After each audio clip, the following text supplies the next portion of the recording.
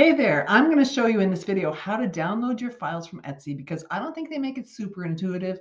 And if you have bought a printable file from Etsy, uh, they don't email it to you. You have to go and get it. So it's not that hard, but it's unless you know the steps, what are you going to do, right?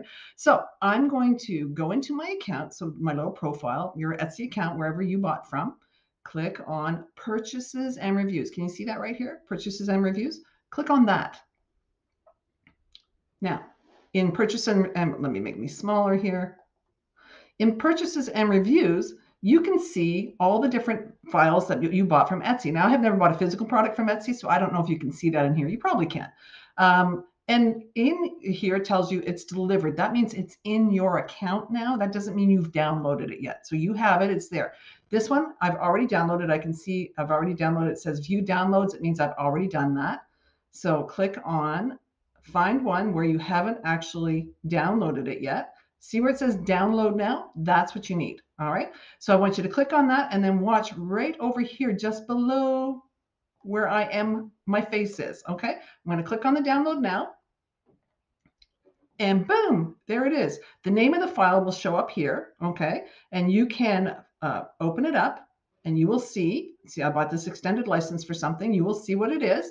So there you go. And I believe you could probably print right from here. This is not a printable, but let me just show you.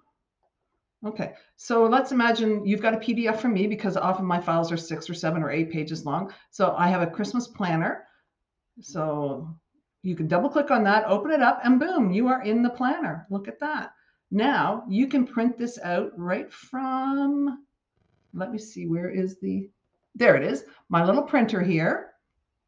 Make sure that it's in portrait mode. These don't print in landscape. Mine are always uh, done in portrait mode. So if you put it in landscape, it's going to be uh, weird. Print in portrait mode, select the pages you want to print. You don't have to print this one. You can print other ones. It's all good. So I hope this was helpful to you and you're able to download your files with no trouble and then print off your printables and enjoy. Whether they're my printables or somebody else's printables, I don't judge.